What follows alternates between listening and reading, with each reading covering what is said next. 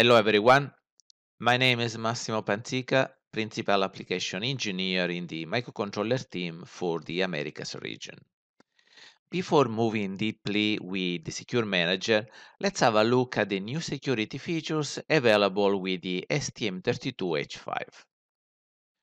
We are not gonna cover all the security features of the STM32H5, also because you might be already familiar with the basics of security in our STM32 microcontrollers. But if not, uh, the AN5156 provides a very good summary of possible attacks and device protections for the different STM32 families. You can find a link to this application notes and uh, to additional material in the resources section of this presentation. So what are we covering in this presentation is an overview of the new security features introduced with the STM32H5.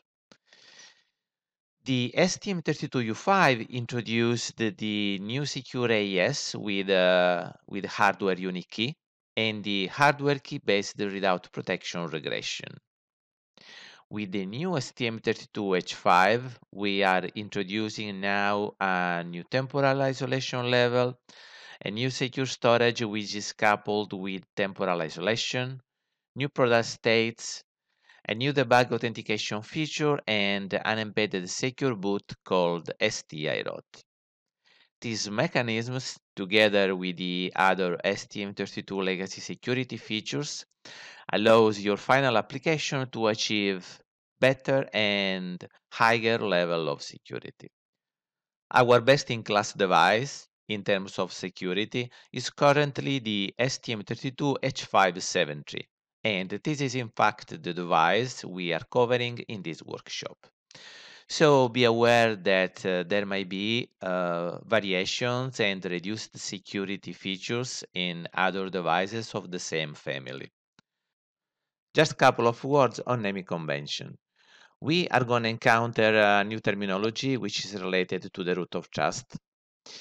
And depending on the owner and on the immutability, uh, you might find ST-iROT, immutable root of trust from ST, ST-uROT, updatable root of trust from ST, and OEM-iROT, OEM-uROT, immutable or updatable root of trust that you can provide yourself using the templates and the examples available within our ST software packages.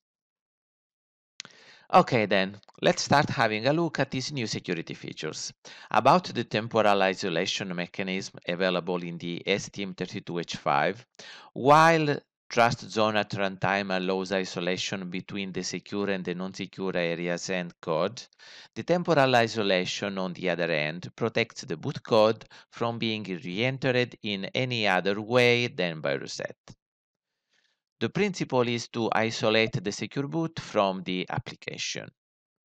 The temporal isolation features called HDP, Secure Hide Protection, applies to the user flash. It's uh, already used in other legacy STM32 families, but has significantly evolved with the STM32H5. The STM32H5 provides, in fact, the possibility to hide up to two different portions of the user flash, while only one single portion has been allowed so far in other STM32's microcontrollers. So, how does this work? First of all, we set the HDP watermarks start and end through the option bytes. At reset, we start executing, let's say, our first stage bootloader code. Then we call a root security service and we close and hide this portion of the user flash. The RS root security service is part of the ST-ROM code and is dedicated to security management. Then the next code execution starts and let's say we are uh, executing our second stage bootloader now and we can set the new HDP limit through a specific flash register. At this point, we can call again a root security service in order to close and hide this second portion of the flash. And now we can start executing the user application without any risks of jumping or accessing to the hidden parts of the user flash. Another new security features of the STM32H5 is the secure storage, a specific area where data can be provisioned in a secure way and data are isolated and can be accessed only by authorized part of the system. There are five different secure storage areas in the STM32H5 called secure storage OB keys, option byte keys.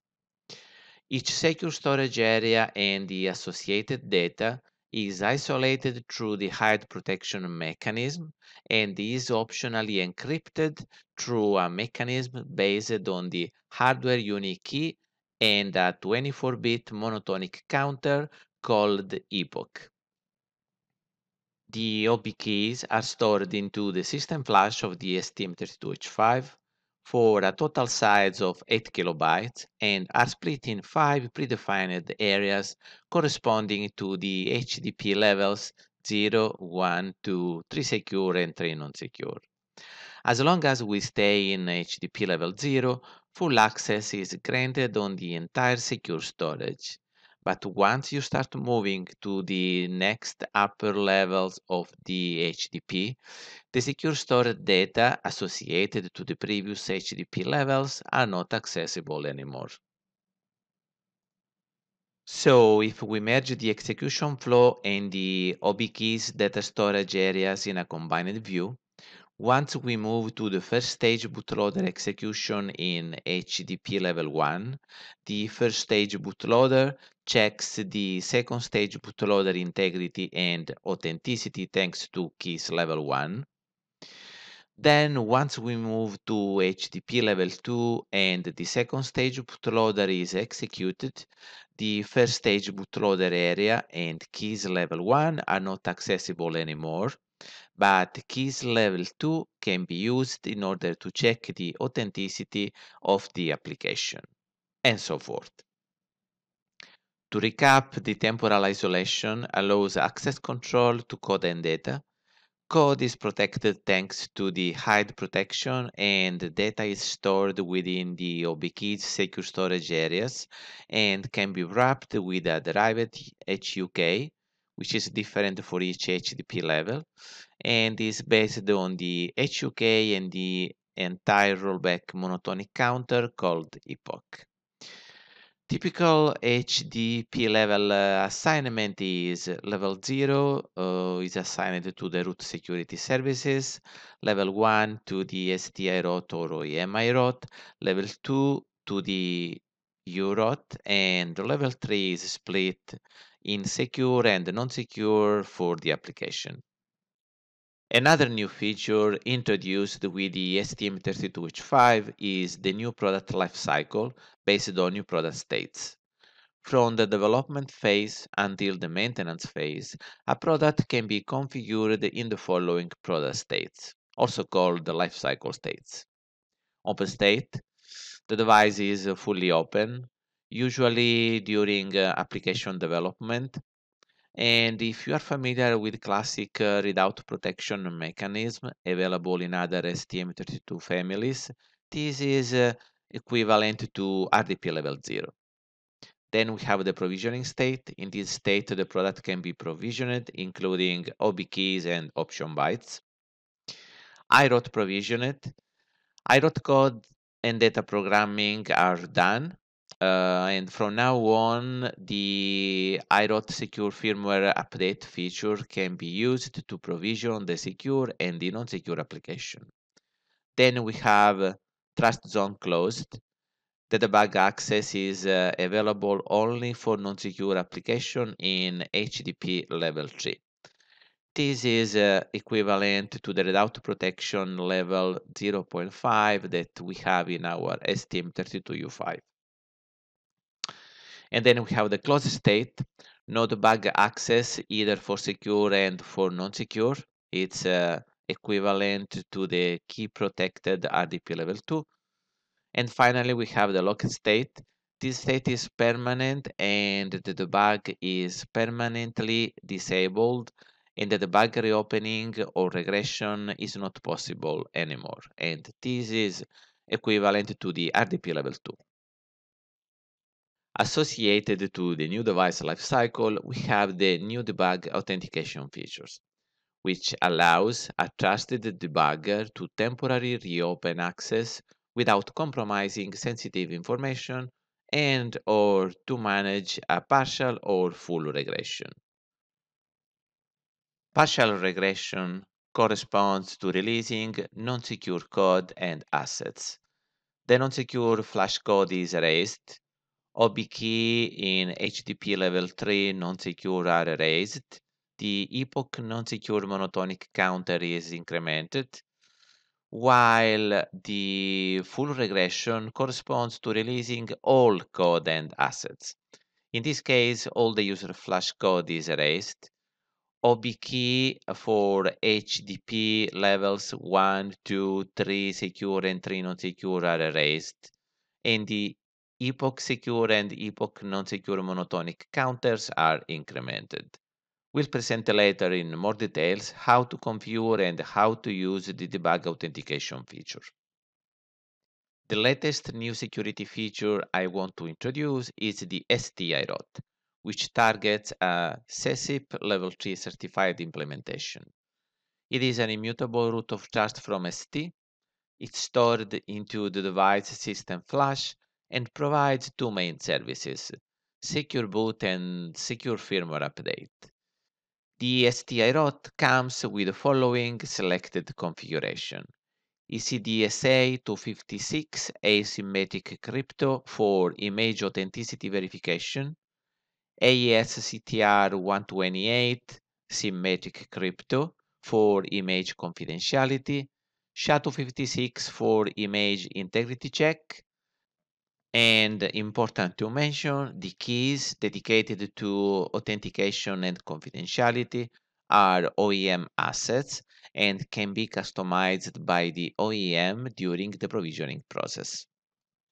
Just to recap the Secure Boot definition, the Secure Boot as a root of trust service is an immutable code which is always executed after a system reset it activates the STM32 runtime protections and then verifies the authenticity and integrity of the next stage, in this case the application code, before executing it.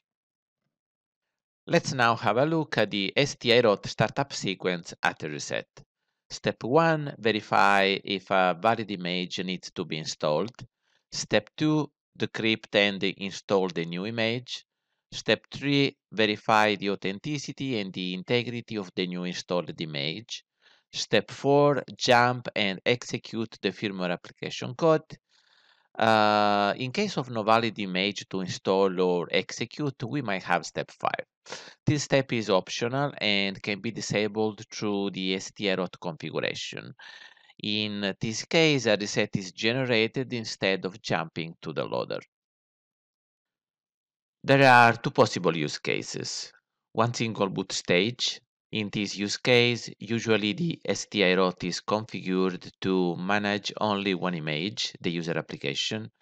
At reset, the ST-IROT detects if a new user application is available in the download area, checking authenticity and integrity before installing it in the execution area.